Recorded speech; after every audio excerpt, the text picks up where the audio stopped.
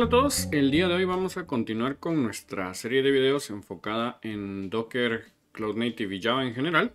Y el día de hoy nos vamos a enfocar en dos tópicos. La creación de servidores micro. Y número dos, les voy a presentar una herramienta denominada Compose para que a partir de definiciones de Docker Compose tengamos una base para crear planes de despliegue en Kubernetes. Entonces vamos allá. Como primer punto, yo tengo acá eh, exactamente la misma aplicación que utilicé en el video anterior. Para no ahondar mucho en la explicación, es una aplicación que expone una API en formato JAX-RS, o sea, una API REST, y brinda acceso hacia una base de datos modelada utilizando JPA y una biblioteca para la programación rápida de esta aplicación que es Delta Spike. Entonces, con las operaciones sobre las aplicaciones, yo puedo hacer altas, bajas y cambios de forma simple y de hecho les puedo mostrar el código brevemente. Entonces en el código que se va a encontrar acá abajo en la descripción del video, yo tengo acá una entidad con JPA, la cual tiene 1, 2, 3, 4, 5 columnas, un repositorio cuyos métodos son generados dinámicamente por Delta Spike a través de CDI, por lo que yo solo tengo que declarar una clase abstracta, similar a lo que hace por ejemplo Spring Data y un controlador denominado ADM Book Controller que se encarga de creaciones, actualizaciones y eliminaciones dentro de la base de datos. Esta es solo la aplicación de demostración, la que hemos venido utilizando desde el video anterior, pero en esta ocasión vamos a variar un poco la arquitectura. Una tendencia que existe dentro de Java para la creación de microservicios es utilizar servidores de aplicaciones tradicionales pero en lugar de desplegar un servidor completo dentro de Docker y eventualmente Kubernetes, nosotros desplegamos una versión micro. La idea de un servidor micro es que nosotros podamos arrancar el servicio y dentro del servicio despleguemos nuestra aplicación e idealmente una sola aplicación. Dado de que el paradigma Cloud Native, y esto es para todos los lenguajes de programación, promueve la escalabilidad horizontal, cada uno de estos dominios o problemas nosotros los resolvamos con una aplicación con su propio ciclo de vida. El día de hoy entonces les voy a mostrar algunos pasos para convertir una aplicación tradicional en una aplicación compatible con un microservidor, en este caso Payara Micro. Este microservidor arranca, no tiene panel administrativo, no tiene pasos adicionales de la configuración, sino la idea es brindarme un entorno que arranque rápido escale rápido y sea compatible con mi Warfile tradicional. Y este a su vez se conecta entonces con PostgreSQL. En esta línea, entonces, nuevamente a partir del video anterior, yo ya tengo externalizada la configuración. Lo que significa que a través de variables de entorno, yo puedo cambiar los valores de conexión para la URL JDBC, para el password y para el nombre del servidor o el nombre del host. Payara, pero no solamente Payara, sino también Apache Tommy, Wildfly e incluso Open Liberty, Open Liberty, perdón, ya son compatibles con externalización de la configuración. Entonces, a partir de esto, yo puedo definir un plan de despliegue utilizando Docker Compose. ¿Qué es Docker Compose? No es más que una extensión de Docker que originalmente nació como una aplicación independiente que me permite crear planes de despliegue más complejos con por lo menos cuatro tipos de recursos. Servicios que son contenedores que hacen parte de una aplicación. Volúmenes que se pueden montar permanentemente para no perder los datos.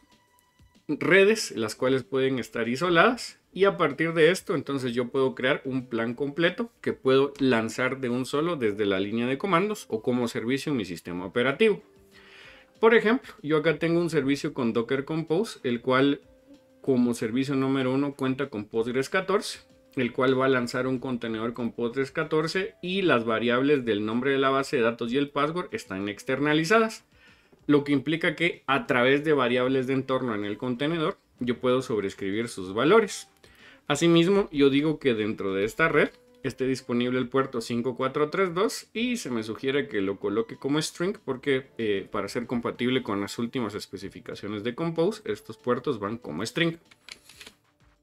En segundo lugar, yo tengo una imagen denominada Tuxtor Payara Demo, que les voy a mostrar en algunos momentos cómo se va a configurar. Esta imagen toma como base la imagen de Payara Server de momento, pero la vamos a convertir en Payara Micro y posteriormente arranca mi servidor micro con mi única aplicación utilizando los valores externalizados. Entonces yo sobrescribo la URL de conexión a la base de datos, el password y el host para poderme permitir moverme entre mis aplicaciones. Adicionalmente, tiene un volumen que en este momento voy a eliminar porque este no es compatible con Payara Micro.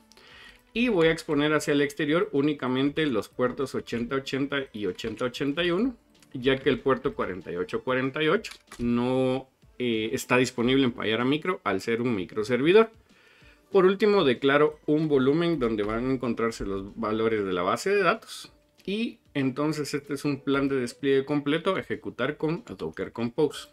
Bueno, tomando entonces como base mi proyecto y de nuevo tomando como base el video anterior, yo ya tengo un plan de despliegue compatible para Docker, que es este Dockerfile. Lo vamos a mover de lugar para tenerlo diferenciado.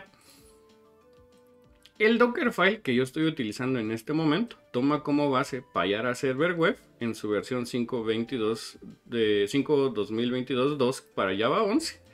Copia el WAR file que yo logre compilar hacia el directorio deploy asumiendo que cuando arranque este contenedor, la aplicación va a ser desplegada. Voy a renombrar este Dockerfile y le voy a colocar que esta es la versión full y vamos a generarle entonces una copia para generar la versión micro. ¿Cuál va a ser entonces la diferencia? Dentro de las imágenes comunitarias de Payar también existe una versión micro que cumple con todas las características que he mencionado hasta el momento. Lo más importante, arranca más rápido, consume un poco menos de memoria, no tiene dashboard de administración porque la idea es que yo lo pueda desplegar en un entorno donde pueda tener múltiples contenedores de distinta eh, índole o múltiples copias del mismo contenedor, como por ejemplo Kubernetes, Docker Swarm o Nomad de, de HashiCorp. La idea es que esto es un poco más cercano al Java moderno o al Java Cloud Native.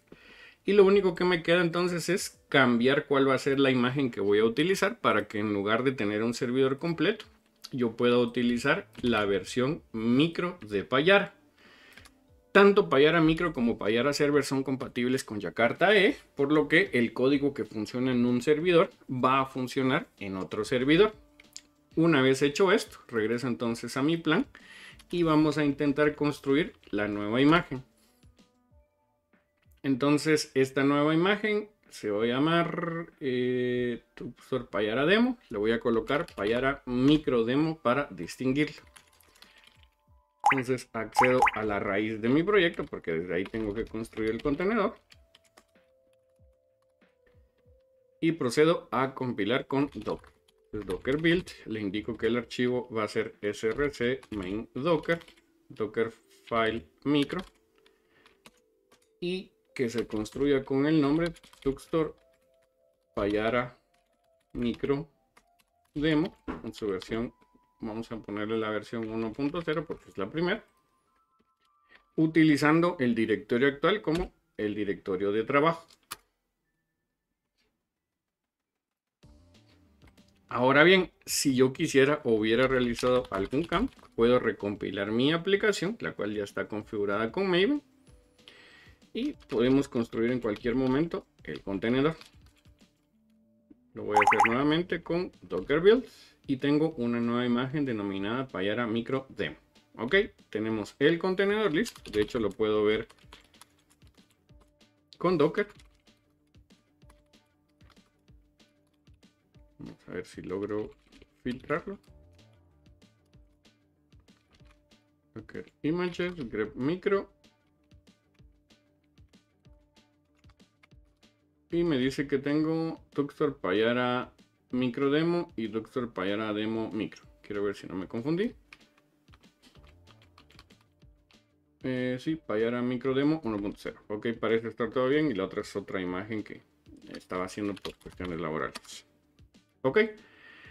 Tenemos entonces la imagen construida.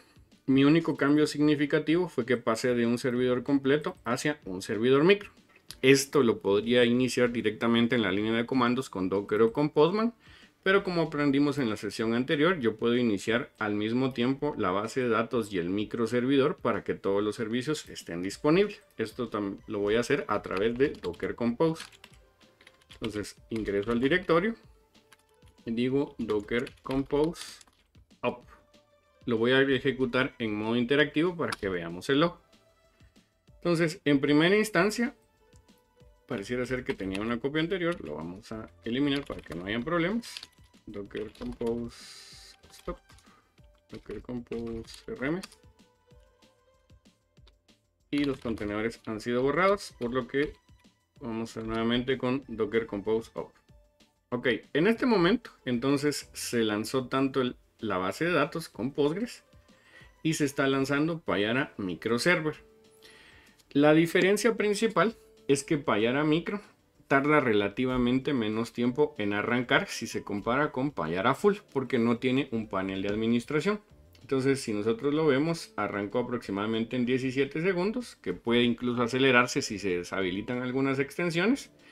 Pero mi aplicación está lista y disponible en la URL que de hecho estuvimos utilizando en el video anterior. Entonces yo puedo ir hacia localhost 8080, fallar a demo, rest y hello. Y vemos que se está utilizando hola desde Payara en una IP interna en Compose. Lo que implica que si yo me dirijo entonces a Books, En este momento ya hay una API REST y una base de datos que se encuentra vacía. Dicho esto, yo ya tenía entonces un Scratch file para enviarle datos a mi base de datos, valga la redundancia, en el cual yo envío el libro del ganador del premio Nobel, Miguel Ángel Asturias. Me dice que ya es capaz de crearlo utilizando el API REST y de hecho lo puedo ver directamente en el navegador y ya soy capaz de persistir Miguel Ángel Asturias. Entonces Sinceramente, si su aplicación es compatible con Glassfish, probablemente sea compatible con Payara. Si su aplicación es compatible con Payara, como acabamos de demostrar, así como es compatible con el servidor completo, es compatible también con el microservidor. Ahora bien, si yo ya tengo entonces un deploy cloud native, sería interesante que lo volvamos lo más cloud native posible. Y para esto el día de hoy voy a utilizar Compose. Independientemente de la opinión que ustedes tengan, y a pesar de que Docker tiene su propia alternativa de orquestación, que es su modo Swarm o Docker Swarm, Kubernetes se ha convertido al día de hoy en la plataforma estándar o la plataforma de facto para despliegues estándar en nube. Y entre algunas utilidades que yo utilizo en mi día a día, he conocido Compose. Compose es una utilidad en línea de comandos o un programa que toma como base planes de despliegue para Docker Compose y los convierte a planes de despliegue para Kubernetes. Entonces vamos a hacer eso con nuestra aplicación. Mi Docker Compose que yo ya tengo lo voy a convertir en un plan de despliegue para Kubernetes. La herramienta la verdad es realmente simple. Yo voy a utilizar, vamos a detener mi aplicación, ya demostré que funciona. Mi plan de despliegue en este momento con Compose. Les le digo que por favor Compose, les muestro las opciones brevemente compose convert menos menos file menos f src main docker específicamente el docker compose llama y la salida va a ser src main kubernetes que es un directorio que aún no existe barra compose.yaml para diferenciarlos entonces, sin intervención humana y analizando mi plan de despliegue en Docker Compose, yo ya tengo una versión alternativa denominada Compose YML. Para los que están familiarizados con Kubernetes, los volúmenes de Docker Swarm se convierten en Persistence Volume Claims, o sea, en almacenamiento para Kubernetes. Los hosts o los eh, servicios se convierten en pods y los puertos se expresan como un servicio completo para Kubernetes. Entonces, en este momento yo tengo un plan un poco más grande, vamos a llamarle así, eh, que sería compatible con Amazon EKS, con Oracle EKS, con Azure, con cualquiera que tenga soporte para Kubernetes. Y para demostrarlo vamos a utilizar entonces Minikube.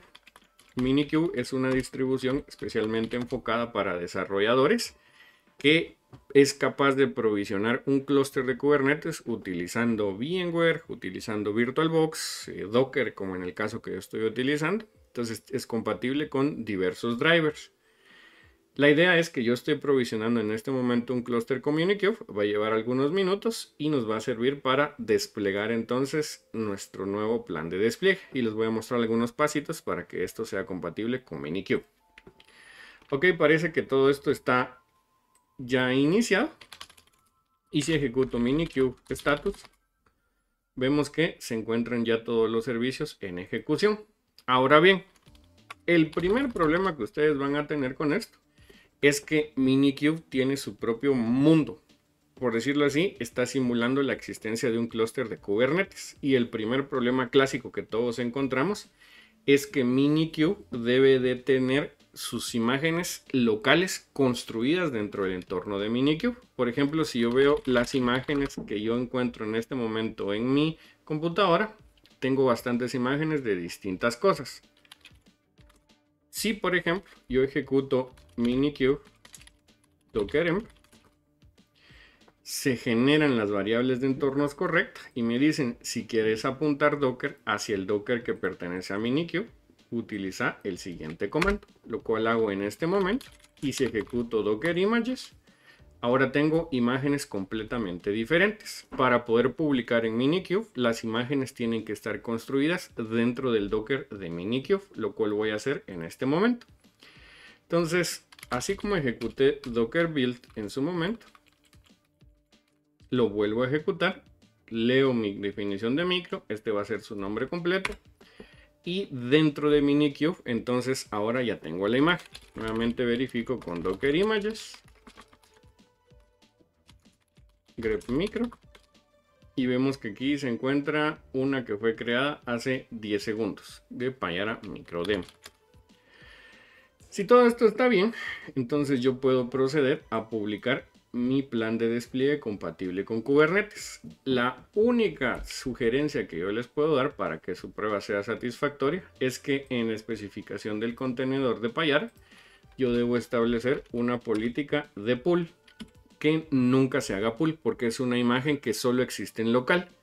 Si tiene la política always, siempre va a consultar primero a Docker Hub o al repositorio que tengan configurado y cuando no lo encuentra, falla. Entonces con imágenes locales yo aplico never. Una última verificación.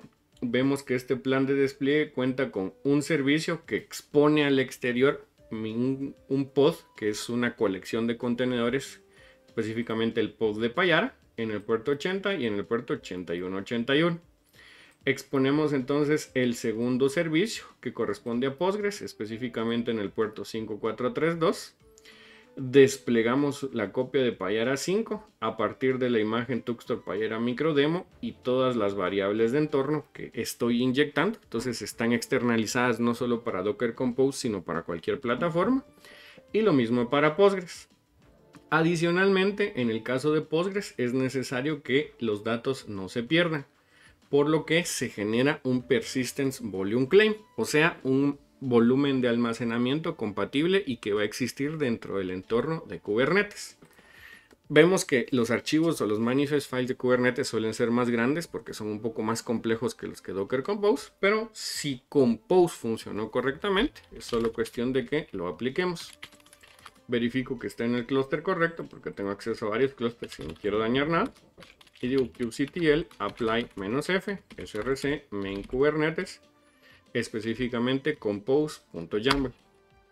Entonces, en este momento se lanza el servicio que me da acceso a Payara 5, el servicio que me da acceso a Payara 14, los planes de despliegue para Payara y Postgres y el Persistence Volume Claim denominado Database Data, que es compatible con, eh, con eh, Postgres SQL.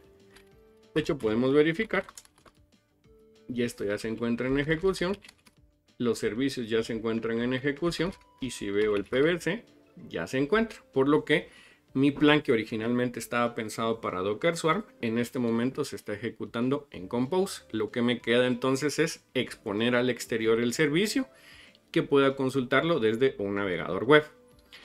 En el mundo real esto se puede hacer de distintas formas. Puedo exponer un puerto si este fuera un clúster Kubernetes real puedo crear un balanceador de carga que necesitaría una infraestructura de nube, por ejemplo, o una infraestructura local.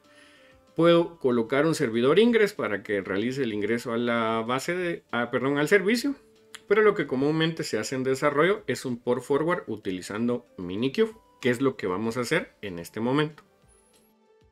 Entonces, para acceder vía Minikube, nuevamente vemos que al servicio que yo realmente quiero acceder es el de Payara 5. Postgres particularmente debe de vivir únicamente en la red, no debo de tener acceso directo a la base de datos. Entonces yo ejecuto minikube service, el nombre del servicio que es Payara 5, menos menos URL. Entonces me dice eh, minikube no tiene node port, por lo que yo debo de cambiar entonces el tipo de servicio. Un pequeño detallito, Compose es bueno, pero no es perfecto. Entonces tengo servicio, Payara 5. Entonces lo vamos a colocar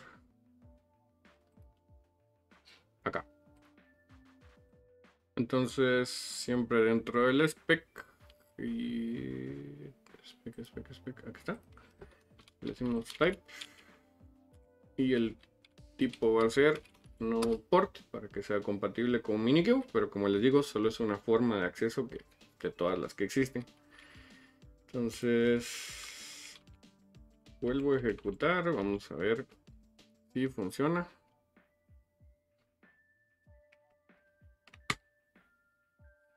Okay, get service. En este momento veo que ya es un node port, por lo que nuevamente le solicito a Minikube. Ok, me dice Minikube, los dos puertos están configurados en las siguientes URLs, las cuales voy a probar en este momento. Entonces noten que ya se está ejecutando acá el servicio. Vamos de hecho a copiar la URL.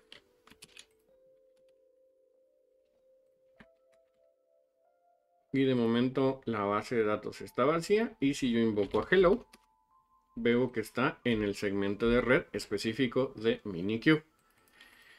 Entonces lo que me quedaría es lanzar una petición hacia Books y que todo esto esté funcionando ahora sobre Kubernetes. Entonces vamos a hacer la prueba en este momento.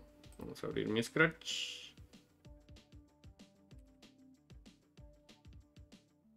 Y necesito... Le voy a quitar la base mientras tanto porque lo tengo en un entorno. Entonces lo voy a enviar hacia la dirección IP barra box. Me dice que sí, que efectivamente fue compatible. Por lo que si yo recargo la aplicación, ya se encuentra Miguel Ángel Asturias. Ok, entonces en este video aprendimos varias cosas. Recapitulando, existen microservidores que generalmente son versiones especiales de servidores tradicionales pensados para entornos cloud native que arrancan rápido, levantan rápido, se provisionan rápido y que idealmente solo deben de llevar una aplicación. En este caso utilizamos Payara Micro, probando una primera forma de despliegue utilizando Docker Compose. Posteriormente, para tener una pequeña introducción a Kubernetes, convertimos el plan de despliegue con Docker Compose hacia Kubernetes vía la utilidad Compose y lo probamos sobre Minikube, pero necesitamos dos pequeños ajustes. Pero este plan de despliegue es una buena base si eventualmente tienen que construir planes de despliegues más complejos y ya tienen un Docker Compose disponible. Entonces no se olviden de compartir y nos vemos en el próximo contenedor.